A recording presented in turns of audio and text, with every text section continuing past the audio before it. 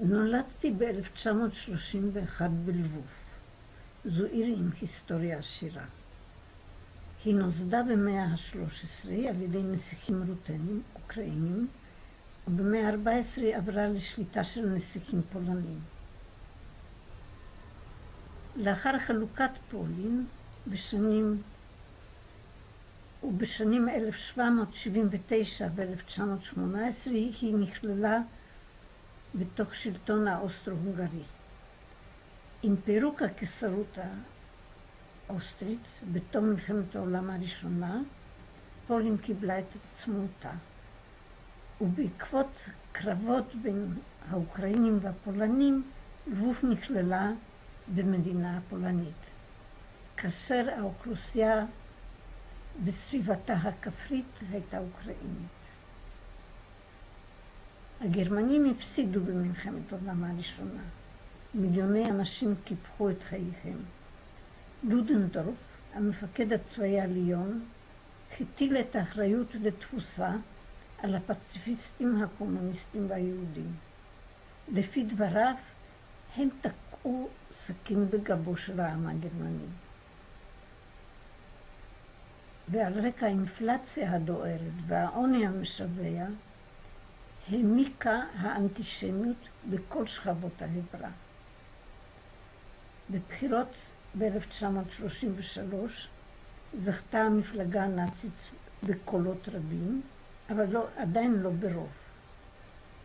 היטלר התמנה לקנצלר, ראש הממשלה ולנשיא הזקן הידנבורג, ומיד הפעיל מדיניות טרור, שריפת הרייסטאק, הוצאת המפלגה הקומוניסטית אל מחוץ לחוק, ובעקבותיה המפלגה הסוציאל, הסוציאל דמוקרטית והאיגודים המקצועיים.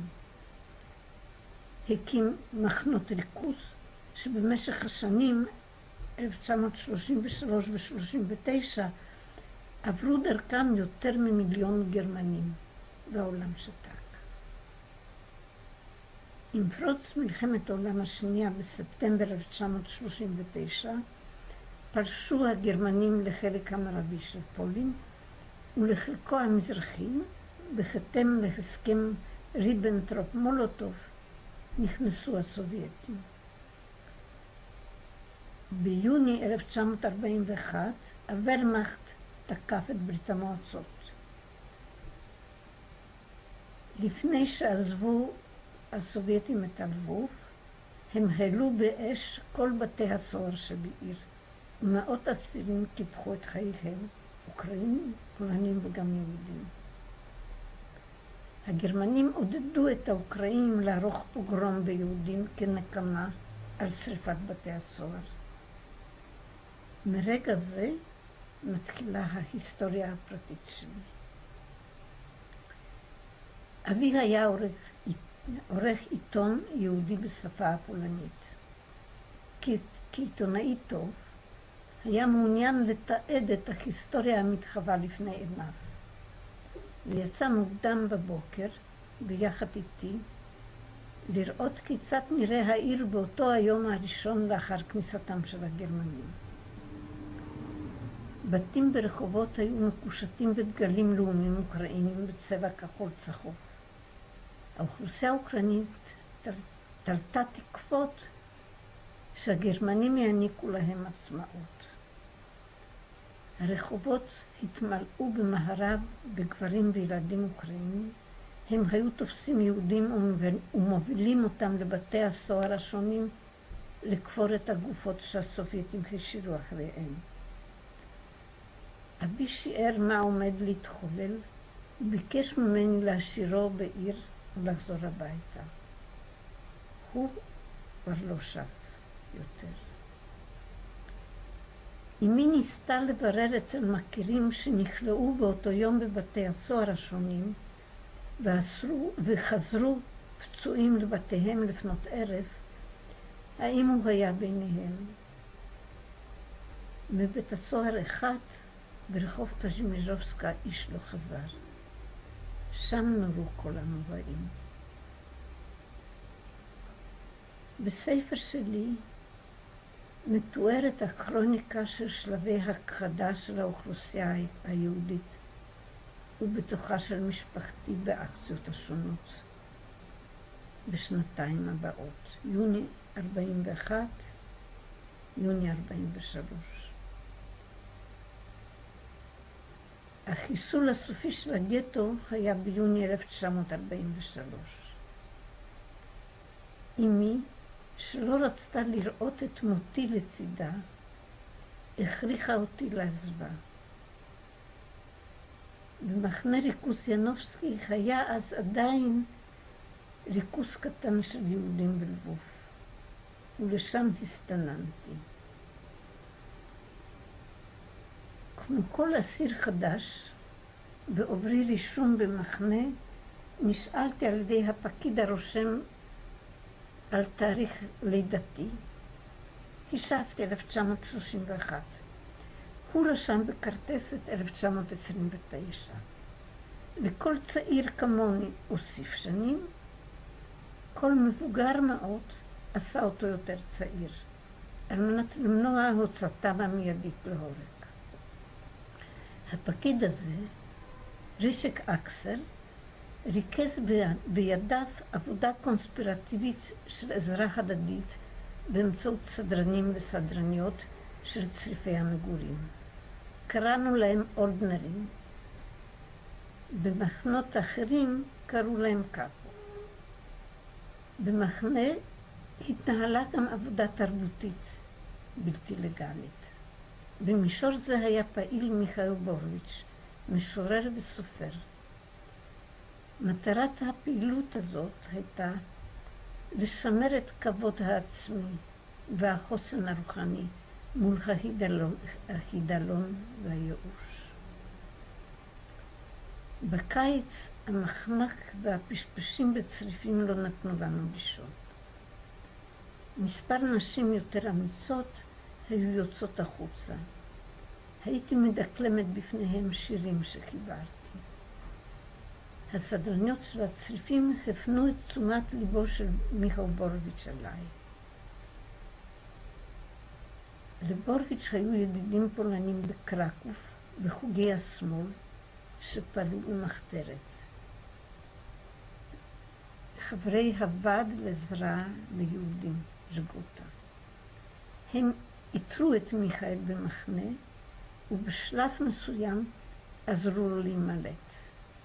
בורוביץ' מצידו ביקש אותם להציל עוד מספר אנשים. והייתי ביניהם. גורלו של אדם בודד, וכן גורלה של חברה, אינם ניתנים לחיזוי.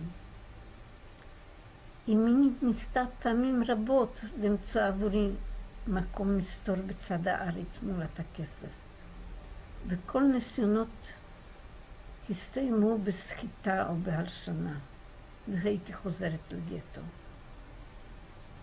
במחנה, כאשר לא ציפיתי לשום הצלה, נתקלתי בבורוביץ'.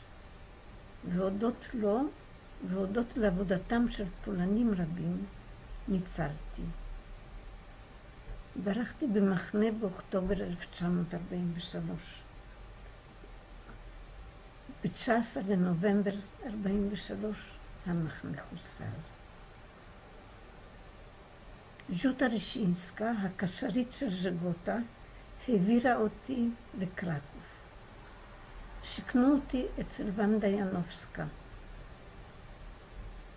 פעילה במחתרת הפולנית. היא הייתה קוסמטיקאית. במשך היום קיבלה לקוחות בדירתה, בלילות היו מזייפים אצלה תעודות עבור יהודים מסתתרים.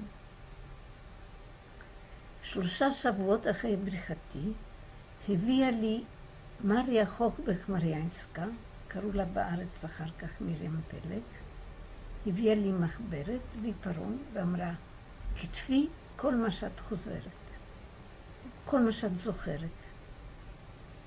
מריאנסקה דאגה מטעם המחתרת הפולנית למקומות המסתור עבור הנמלטים.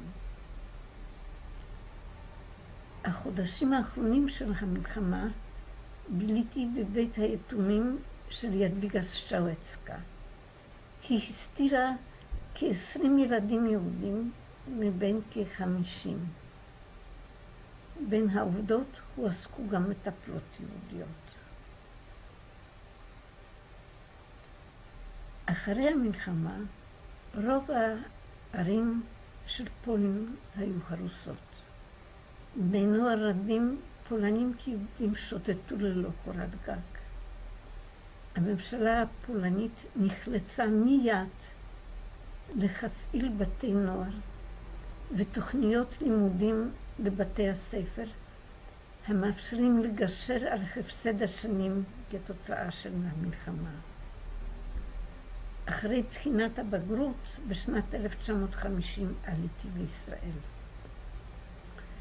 במשך השנה הראשונה עבדתי בקיבוץ כפר בלום.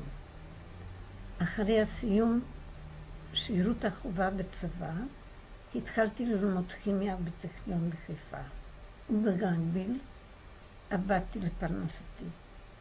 התחתנתי, היו לי שני בנים, הגשתי עבודת מגיסטר ועבודת דוקטורט, עבדתי במחקר בטכניון, במכון ויצמן ובאוניברסיטת מינכן. לאחר פרישתי מעבודה מקצועית, הקדשתי עשר שנות עבודה בבירור שאלות שהציקו לי. איך להבין כיצד החברה הגרמנית, שבסוף המאה ה-19 ובתחילת המאה ה-20 הייתה ליברלית, הצטיינה בהישגים מדעיים מרשימים ובמספר רב של חתני פרס נובל, ושהתבוללות היהודית בתוכה הייתה המשמעותית ביותר. כיצד היא הולידה כעבור מספר שנים את המשטר הפשיסטי הברוטלי ביותר. באותה עת עניינו אותי גם הגרמנים שהעזו להתגבר, להתנגד למשטרו של היטלר. וכתוצאה של עשר שנות עבודה זו, פרסמתי ספר בעברית, הוורת הלבן, סטודנטים ואנשי הרוח בגרמניה לפני ואחרי עלייתו של היטלר לשלטון.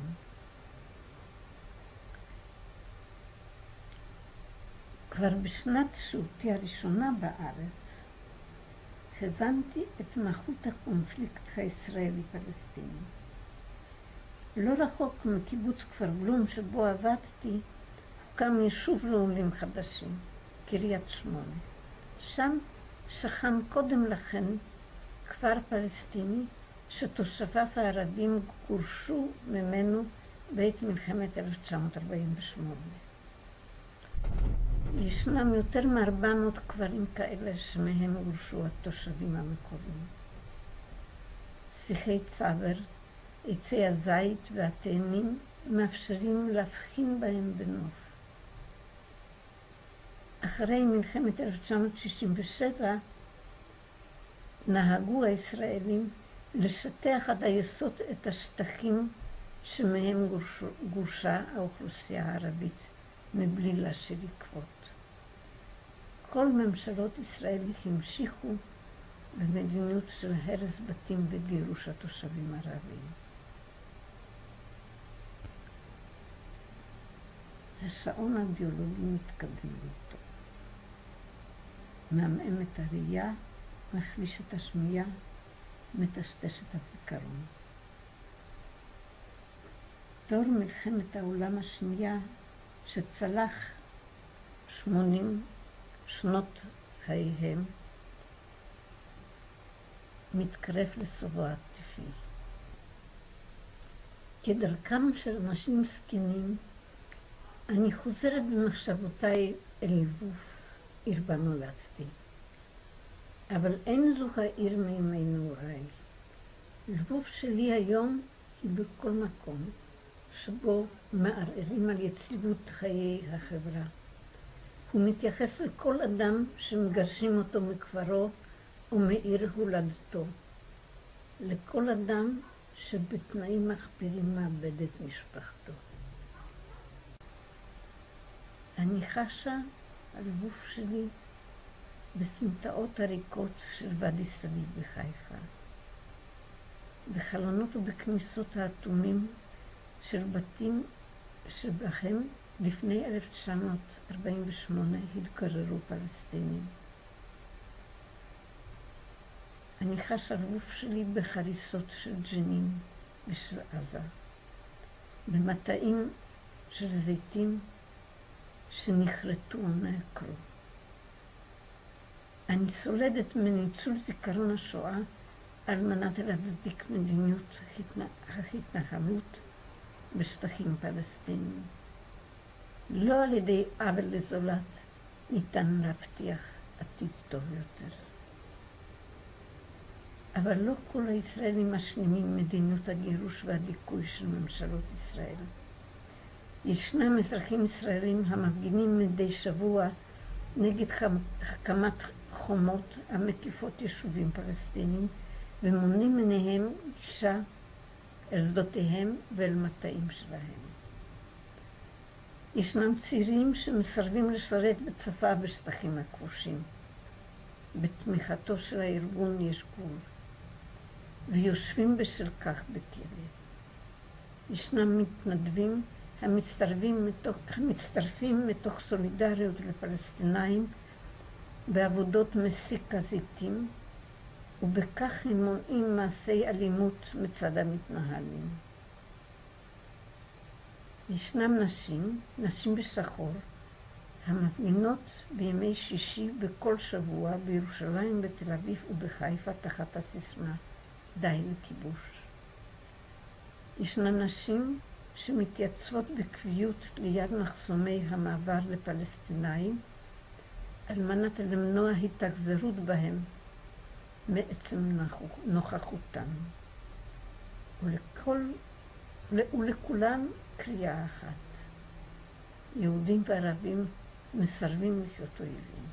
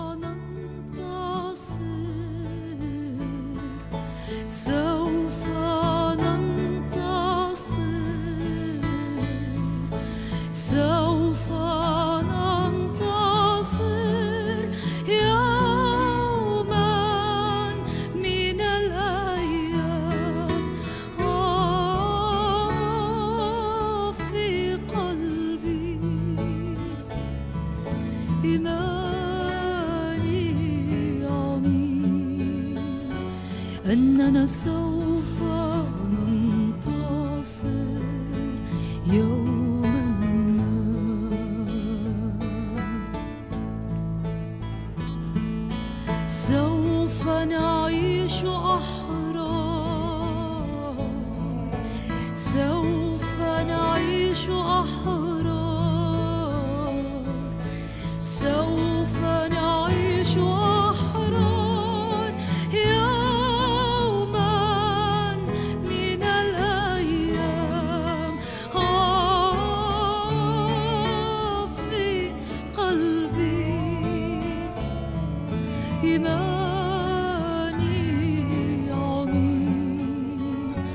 أننا سوف